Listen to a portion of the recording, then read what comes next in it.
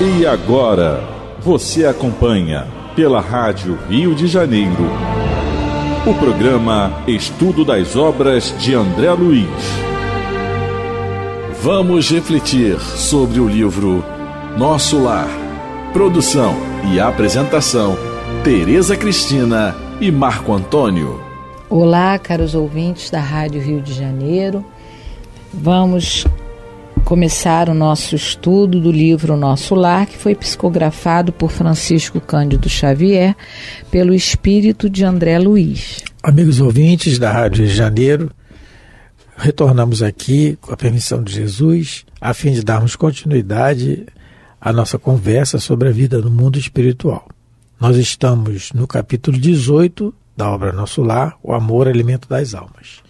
E no programa passado, nós fizemos, nós estamos no décimo.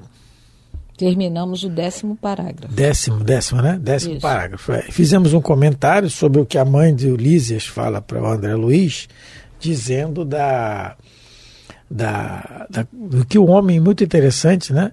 Que, que o homem encarnado vai saber que a, é, a conversação amiga, gestos afetuosos, bondades recíprocas, confiança, compreensão, intensidade fraternal são alimentos da alma, são patrimônios que se derivam do amor profundo, né? Porque, como disse Jesus, a boca só fala do que está cheio o coração. No momento que nós procurarmos encher o coração com esses sentimentos, nós vamos nos alimentar também, né? Que é o que ela explica aqui. E dizendo da nossa da necessidade nossa de estabilidade e de alegria, né?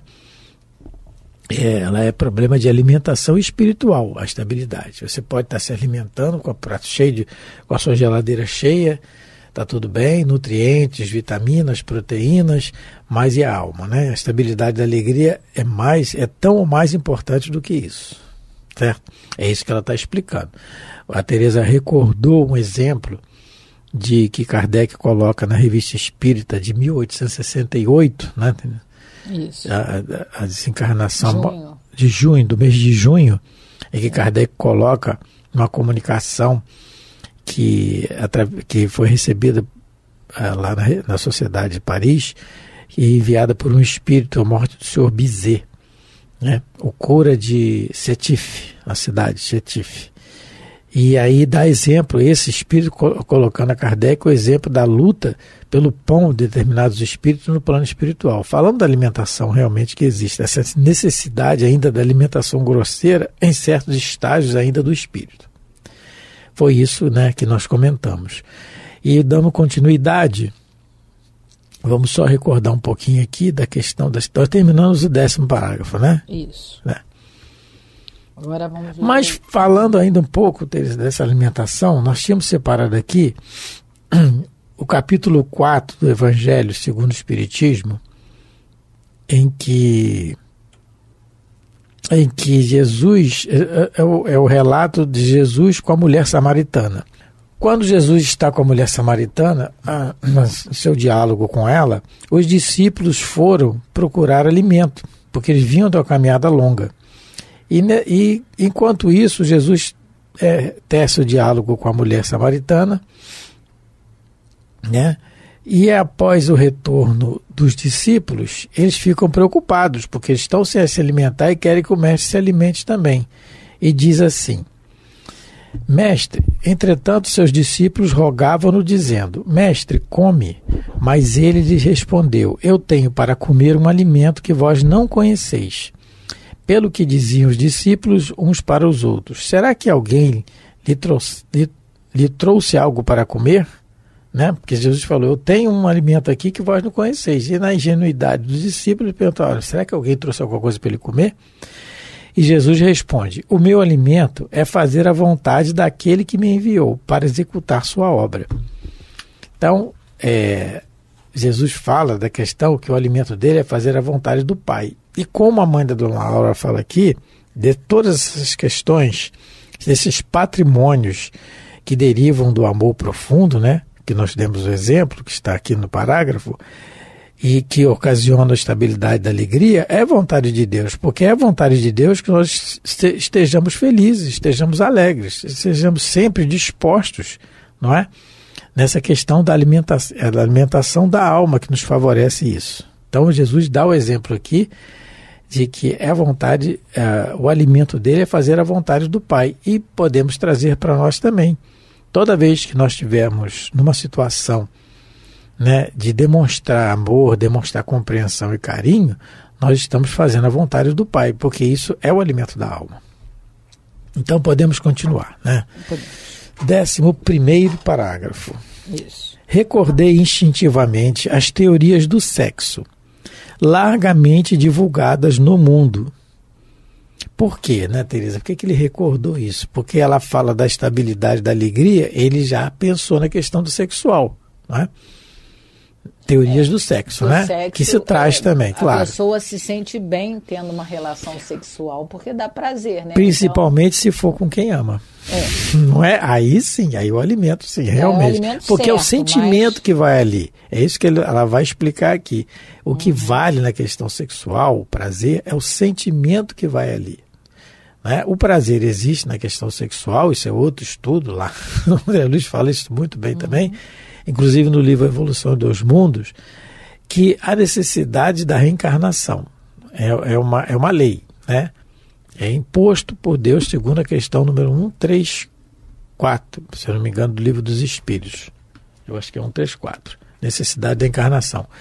Uhum. Eu vou uhum. conferir aqui. Mas é uma necessidade. Então, como é que nós íamos procurar reproduzir se não tivesse prazer na situação? Mas o importante aí é o sentimento que vai junto, né? Que o André Luiz está tá, tá colocando. Isso. A ninguém diga que o fenômeno é simplesmente sexual.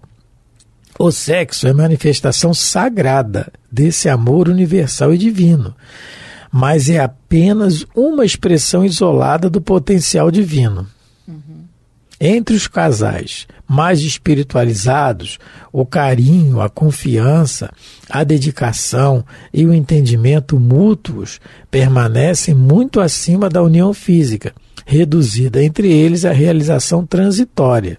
Sim, então ele está a dona Laura está colocando para gente que o sexo é da alma, que se expressa no corpo, é uma energia divina não é? Universal e divina.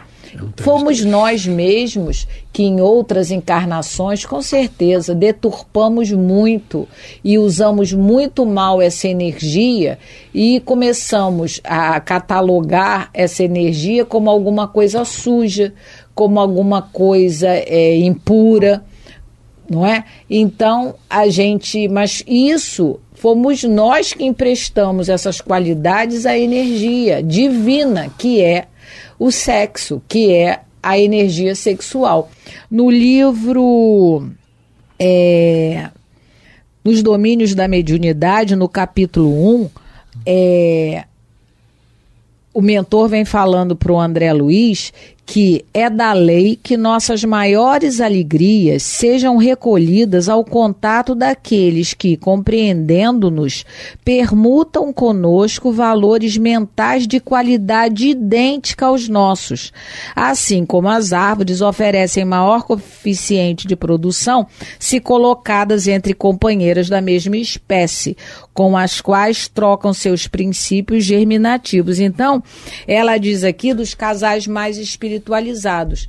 Esses, eles já vão começar a compreender que não necessitam da, é, no, no, no caso, né, da relação sexual em si para terem prazer, porque eles já, já começam a compreender que isso é uma, é uma variante né, dessa energia, que ela pode ser canalizada por aí mas ela pode ser canalizada também na questão da conversação, como a gente viu acima, do carinho, da confiança. Isso também é essa troca de energia. Agora, isso é muito bom quando realmente os casais estão no mesmo nível evolutivo. Porque, infelizmente, se não tiverem no mesmo nível evolutivo, alguém vai ter que se sacrificar. Nós não estamos dizendo aqui que é. o sexo é errado. não é isso, pelo amor de Deus. Sexo é o departamento divino, isso. assim como o estômago. Né? o problema é o que a Teresa colocou, é os vícios que nós trazemos de todas, de tantas encarnações, e são muitas, hein? Então, esses vícios, eles têm que ser combatidos. O que ela está dizendo aqui, que não é para não ter relação sexual, não é isso. É que para nós equipararmos o prazer que tem na relação sexual, que alimenta a alma, no sentido de que os, os parceiros eh, têm o sentimento. Não é, não é o sexo como o animal faz no meio da rua, não é isso. Isso não, porque o animal faz também, o, o cão faz. Sim. Não é isso, o, né? não, não é isso que nós estamos falando. Mas o problema é que muitos de nós ainda estamos nessa fase do animal. Porque trazemos os vícios. Aí é que está errado, porque ela diz assim: realização transitória, mas tem a realização, realiza. Porque é o que a Teresa está falando. Ah, eu vou, eu casei com você, eu sou espiritualizado, não quero mais ter relação, mas o outro não tem outro não está. E aí, como é que fica? Não é? E aí? E é entendeu? Então não é assim que funciona. Vamos uhum. ter o bom senso, né? Allan Kardec, segundo Camilo Flammarion, bom senso encarnado. Então a doutrina espírita é a doutrina do raciocínio e do bom senso. Uhum. É o que ela, tá, ela não está dizendo que não é para fazer, não é pecado, porque isso foi colocado para nós durante muitos séculos. Aliás, nós inventamos muita coisa no cristianismo, né? E dizendo que o sexo era pecado. E não é isso, né? Uhum. O problema é o mau uso, assim como o estômago, também é a mesma coisa. Né? Porque, infelizmente, nós vamos, às vezes, é, ver alguns casamentos se terminando, né, algumas uniões terminando por conta de achar que o sexo era a coisa principal do casamento. E quando, por algum motivo, o relaciona sexo que eu digo aí na questão do relacionamento né, íntimo sexual.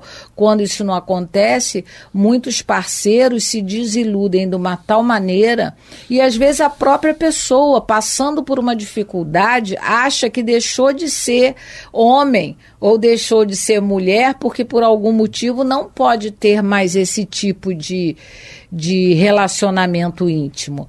Então a gente deve começar a meditar que a energia sexual é uma energia criadora, sim, que nós podemos canalizá-la para alguns setores da nossa vida, não só para a relação é, homem e mulher, uma relação íntima.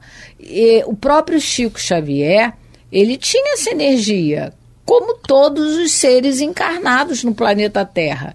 Não é? é uma energia divina. Os animais, os seres humanos. É que ele canalizou a sua energia, no caso, para a propagação da doutrina espírita.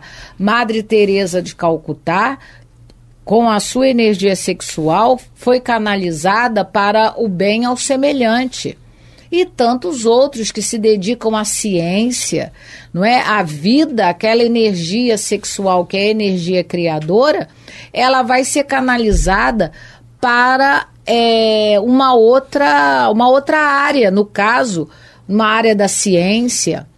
Então, é o que a dona Laura está tentando explicar para o André Luiz é o seguinte: o sexo é uma energia divina, energia criadora e que cada vez que nós fomos nos espiritualizando mais, a gente vai começando a canalizar essa energia que precisa ser canalizada, não é? É, Paulo já orientava isso nas suas cartas. Era preferível que vocês fossem eunuco, como eu, mas entre abrasar-se é melhor casar. Aí, no caso, ele estava falando, né, a, a, sua época, que ele já não sentia essa necessidade física dessa troca de energia, mas que, as, que Chico, aqueles né? que se sentissem essa necessidade é. que se casassem porque é o que me consta, ah, muitos dos né? apóstolos. Né? Paulo, é, é, Paulo, é, tá. Muitos dos apóstolos eram casados, não é? Pedro o próprio Allan Kardec, casado. Kardec. Então, isso aí vai da programação, da missão e do entendimento de, é. da programação reencarnatória.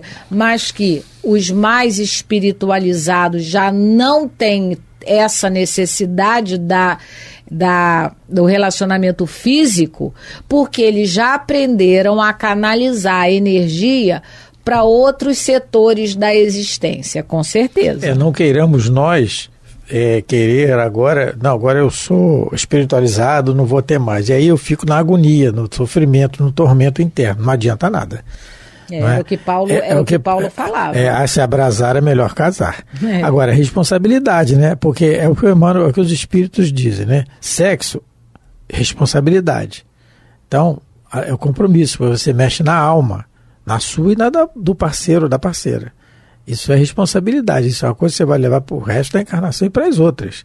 É. Então, essa questão de ter o relacionamento e largar para lá depois, porque já enjoou, já foi, aí é falta de responsabilidade. Aí você está arrumando um karma muito grande. É. Então, o que, é? que a gente entende? O sexo não é o problema. O problema, na, e isso falando na questão dos relacionamentos, o problema é a traição, é a leviandade, é a falta de responsabilidade quanto a essa permuta, porque é um alimento.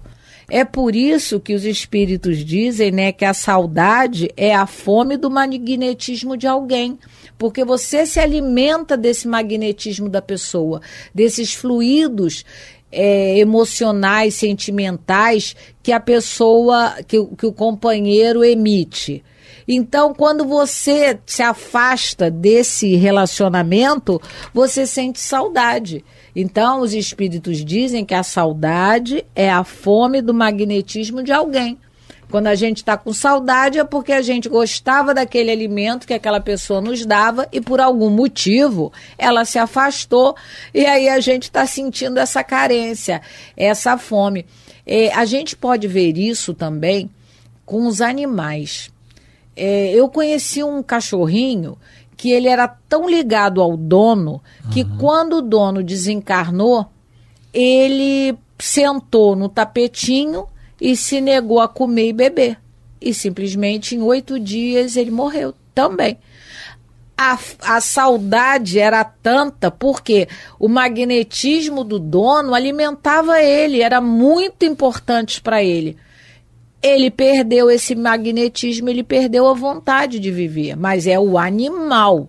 O ser humano não pode ter esse, comportamento de maneira nenhuma. Até porque a gente é, não vive numa ilha só com uma pessoa, a gente vive em sociedade e aquele alimento pode faltar, mas a gente pode ter a capacidade de redirecionar o próprio sentimento para outros que necessitem também de alimento espiritual. É, a Joana sempre disse para o Divaldo, meu filho, as pessoas, às vezes, elas se sentem solitárias porque, às vezes, elas não são solidárias. Elas, de alguma maneira, se fecharam no próprio, né, no próprio luto, seja luto de morte física ou de separação, e elas não querem mais é, conviver nem permutar o que elas têm para dar com outros que precisam receber. E aí a pessoa fica solitária. O animal, a gente até entende que ele tem esse comportamento, porque ele não tem a, a razão, ele não tem o pensamento contínuo, ele, então, ele, como o nome diz, ele é um animal. Ele é razoável que ele, né, ele tem esse alguns tenham esse comportamento, mas o ser humano ele não é permitido a ele de maneira nenhuma agir dessa maneira, porque a lei de solidariedade é uma lei universal. Então, se a gente por algum motivo tá com saudade, tá com fome, né, do magnetismo de alguém, e esse e agora realmente seja impossibilitado de nós termos esse contato, esse alimento, que nós busquemos por nossa vez doar o que a gente tem para outros que às vezes têm muito menos do que nós. Como dizia é. Francisco de Assis, é, é dando, dando que, se recebe. que se recebe. E quem sabe, né? Esse outro que você vai sair em busca para dar uma ajuda, para consolar, quem sabe você também não vai receber muita coisa em troca, né? Agora, no caso dos casais, tem um outro problema. A pessoa, muitas das vezes, e aí entra a responsabilidade de quem abandona, a pessoa às vezes fica tão desesperada, não é, com essa fome desse fluido que foi embora, que ela começa a sair buscando qualquer fluido, não é? Vamos dizer assim, qualquer alimento espiritual e não para para se recompor e acaba escolhendo é, como é que se diz, alimentos estragados, vamos dizer assim. Fluidos altamente comprometidos, é problema, né? desequilibrados, com certeza. É, desagrada. É, então, na pergunta, e a respeito disso que a Teresa está falando, na pergunta 698 do Livro dos Espíritos, no capítulo da Lei de Reprodução, tá, Kardec pergunta assim: o celibato, quer dizer, não ter relacionamento, né? O celibato voluntário representa um estado de perfeição meritório aos olhos de Deus? Aí os espíritos respondem não. E os que assim vivem, por egoísmo, desagradam a Deus e enganam o mundo. Mas não engana a si mesmo, não é? Só que na pergunta seguinte, ele desdobra o raciocínio. Na 699. Da parte de certas pessoas, o celibato não será um sacrifício que fazem com o fim de se votarem de modo mais completo ao serviço da humanidade. Exemplo, Divaldo, né, Divaldo Pereira Franco. Aí os espíritos respondem: Isso é muito diferente.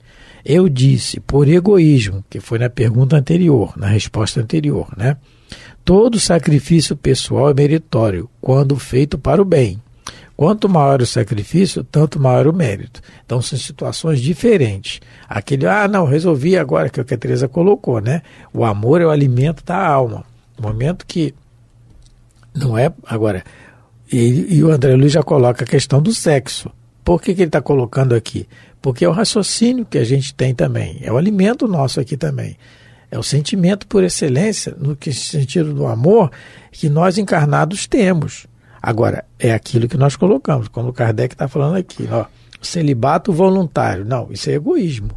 Muitas vezes desagrada a Deus. Agora, com a missão de ajudar a humanidade, exemplo, de Valdo Pereira Franco, aí é outra coisa. Chico Xavier, é outra coisa. E tantos outros por aí que anônimos, vamos dizer assim, que a gente não conhece, né? Então é, é isso. Gandhi era casado, por exemplo, né? Você falou sim, Gandhi era casado, sim. né? É, teve alguns problemas conjugais, mas depois com certeza se acertou, se acertou. porque passou a entender melhor. É, sobre essa nossa conversa da questão dessa dessa fome, do, dessa saudade do magnetismo de alguém. Agora não vai dar tempo, porque nós já estamos chegando no final do programa, mas no próximo programa eu vou trazer o relato de um médium que ele encarnou com a tarefa da mediunidade e ele acabou de alguma maneira é, sentindo saudade da esposa que desencarnou e saiu em busca de um, do mesmo alimento, só que ele não orou, não meditou e acabou tendo dificuldades. Mas no próximo programa é melhor porque a gente vai ler, está no livro Os Mensageiros, e aí a gente vai trazer é, essa história para a gente ver que isso acontece. Quando a pessoa não tem um certo equilíbrio, ela, infelizmente, por imaturidade, ela sai à cata de qualquer tipo de alimento. Mas se a gente não faz isso com o corpo, a gente vai ter que aprender a selecionar também o alimento para a alma, não é? A gente vai ter que fazer, saber fazer essa seleção com mais cuidado. E como é que a gente faz isso? Pedindo ajuda a Deus, aos bons espíritos, observando, convivendo com a pessoa por um tempo, porque em pouco tempo, muitas das vezes, você não consegue ver o comportamento, como a pessoa é, os seus hábitos. Isso leva um pouquinho de tempo para a gente poder conhecer a pessoa, não é? E aí, no livro Os Mensageiros, a gente vai ter um relato de um médium que aconteceu justamente isso. Pela falta que ele sentia da esposa, ele acabou tendo muitos problemas, não é? Mas isso fica para o próximo programa. É, agradecendo a todos a paciência, desejando a todos muita paz, muita tranquilidade, que os bons espíritos possam estar em seus lares, muita paz. Muito obrigado pela atenção, pelo carinho e pela paciência de nos ouvir. Fiquem com Deus. A Rádio Rio de Janeiro apresentou o programa Estudo das Obras de André Luiz.